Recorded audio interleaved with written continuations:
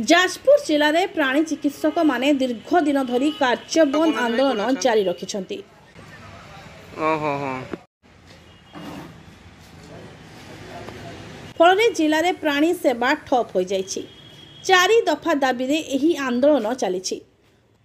ଦୀର୍ଘଦିନ ଧରି ସରକାରଙ୍କ ନିକଟରେ ଅ, ନିମ୍ନୋକ୍ତ ଦାବିଗୁଡ଼ିକ କର୍ମଚାରୀମାନଙ୍କୁ କେନ୍ଦ୍ରୀୟ କର୍ମଚାରୀର ମାନ୍ୟତା ବିଭାଗର ରୂପାନ୍ତରୀକରଣ ସମେତ ଚାରି ଦଫା ଦାବିରେ ଏହି ଆନ୍ଦୋଳନ ଜାରି ରହିଛି doctor Chiranjeeb Sahu Odisha veterinary service association Jajpur ଆମେ ମୁଖ୍ୟତଃ ଚାରି ଦଫା ଦାବି ନେଇକି ସରକାରଙ୍କ ଆଗରେ ବହୁତ ଥର ଦାବି ଉପସ୍ଥାପନ କରିସାରିଲୁଣୁ ତେଣୁ ଆମର ବର୍ତ୍ତମାନ ତେର ଦିନ ପରେ ଆଜି ଚଉଦ ଦିନ ଆମେ ଷ୍ଟ୍ରାଇକ୍ରେ ଅଛୁ। ମୁଖ୍ୟ ଦାବି ରହିଛି ପ୍ରାଣୀମାନଙ୍କ ଉଦ୍ଦେଶ୍ୟରେ।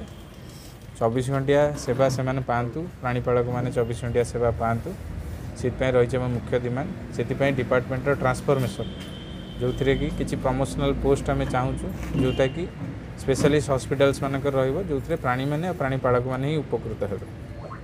ଆମର ଏଇ ଦାବି ପୂରଣ ନ ହେବା ପର୍ଯ୍ୟନ୍ତ ଆମେ ଅନିର୍ଦ୍ଦିଷ୍ଟ କାଳ ପର୍ଯ୍ୟନ୍ତ ରହିବୁ ଯେଉଁଥିରେ କି ଆମର ଓଡ଼ିଶା ଭେଟନାରୀ ସର୍ଭିସ ଆସୋସିଏସନ୍ର ଡାକରାରେ ଆମେ ଦୀର୍ଘ ଚଉଦ ଦିନ ହେଲାଣି ଷ୍ଟ୍ରାଇକ୍ କଣ୍ଟିନ୍ୟୁ କରୁଛୁ ଆଉ ଡିମାଣ୍ଡ ପୂରଣ ନ ହେଲା ପର୍ଯ୍ୟନ୍ତ ଆମେ କରିବୁ।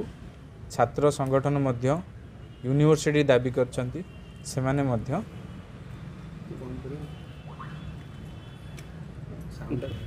ଆମର ଦାବି ପୂରଣ ନ ହେଲା ପର୍ଯ୍ୟନ୍ତ ଆମର ଏଇଟା ଅନିର୍ଦ୍ଦିଷ୍ଟ କାଳ ପର୍ଯ୍ୟନ୍ତ କଣ୍ଟିନ୍ୟୁ କରିବୁ। ତେଣୁ ତୁରନ୍ତ ଏହି ଦାବି ପ୍ରତି ସରକାର ଦୃଷ୍ଟି ଦେବାକୁ ଦାବି ହୋଇଛି। ମୁଁ ଡକ୍ଟର ପାର୍ଥସାରଥୀ ଜେନା। ଆମେ ଏଇ ଜାନୁଆରୀ ଅଠର ତାରିଖରୁ ଆଜି ପର୍ଯ୍ୟନ୍ତ ଚଉଦ ଦିନ ହେଲାଣି ଧାରଣାରତ ଅଛୁ। ସମୂହ ଛୁଟିରେ ଯାଇଛୁ। ଜିଲ୍ଲାର ସମସ୍ତ ପ୍ରାଣୀ ଚିକିତ୍ସକ ତଥା ରାଜ୍ୟର ସମସ୍ତ ପ୍ରାଣୀ ଚିକିତ୍ସକ ବର୍ତ୍ତମାନ ସମୂହ ଛୁଟିରେ ଯାଇଛନ୍ତି। ରାଜ୍ୟ ସରକାରଙ୍କ ନିକଟରେ ମୁଖ୍ୟତଃ ଆମର ଚାରୋଟି ଦାବି ରହିଛି। ସେଥିମଧ୍ୟରୁ ସମସ୍ତ ଦାବି ଆମର କେବଳ ଚାଷୀମାନଙ୍କ ହିତରେ। ଡିପାର୍ଟମେଣ୍ଟର କେମିତି ସମ୍ପୂର୍ଣ୍ଣ ରୂପାନ୍ତରୀକରଣ ହେବ ଆମେ ସେଇ ପୁରୁଣା ପ୍ରାଚୀନ ଯୁଗର ଚିକିତ୍ସା ପଦ୍ଧତିରେ ରୋଗୀମାନଙ୍କ ଚିକିତ୍ସା କରୁଛୁ। ଆମେ ଚାଷୀ ସତସ୍ତରୀ ବର୍ଷ ପରେ ମଧ୍ୟ ଆଜି ଚାଷୀମାନଙ୍କୁ ବ୍ରିଟିଶ ସରକାରଙ୍କଠୁ ଖଜଣା ଆଦାୟ ବ୍ରିଟିଶ ସରକାର ଯେମିତି ଖଜଣା ଆଦାୟ କରୁଥିଲେ ସେଇଭଳିଆ ଶୁଳ୍କ ଆଦାୟ କରାଯାଉଛି। ଆମେ ସେ ନିଃଶୁଳ୍କ ସେବା ପାଇଁ ମଧ୍ୟ ଦାବି କରୁଛୁ। ଆଉ ଚବିଶ ଘଣ୍ଟିଆ ସେବା ପାଇଁ ମଧ୍ୟ ଆମେ ଦାବି କରୁଛୁ। ଚାଷୀମାନେ କେମିତି ଚବିଶ ଘଣ୍ଟିଆ ସେବା ପାଇପାରିବେ?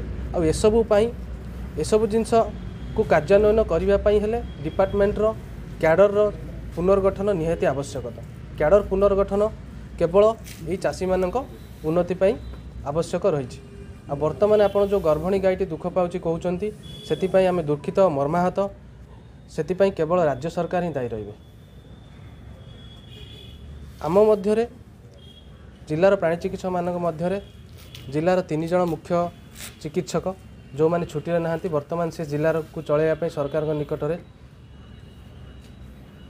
ସରକାରଙ୍କ ନିକଟରେ ଜଣାଇଛନ୍ତି। ତେଣୁକରି ସମସ୍ତ ଚିକିତ୍ସା ଭାର ସେମାନେ ଜିଲ୍ଲାର ନେଇଛନ୍ତି ବୋଲି ସରକାରଙ୍କୁ ସେ ଜଣାଇଛନ୍ତି। ତେଣୁକରି ସେ ବିଷୟରେ ସିଏ ହିଁ ଉତ୍ତର ଦେଇପାରିବେ ସେ ଗାଈଟିର କିଏ ଚିକିତ୍ସା କରିବେ। ସେମାନେ ବର୍ତ୍ତମାନ ଅନଭିଜ୍ଞ କ୍ୱାକ୍ କିମ୍ବା ଅନଭିଜ୍ଞ ଅନ୍ୟମାନଙ୍କୁ ନେଇ ଜିଲ୍ଲା ଚଳାଇବା ପାଇଁ ସରକାରଙ୍କୁ ପ୍ରତିଶ୍ରୁତି ଦେଇଛନ୍ତି। ତେଣୁ ସେ ବିଷୟରେ ସିଏ ହିଁ ଉତ୍ତର ଦେଇପାରିବେ। ଯାଜପୁରରୁ ଆନନ୍ଦ ଚନ୍ଦ୍ର ସାହୁଙ୍କ ରିପୋର୍ଟ ଓଡ଼ିଶା।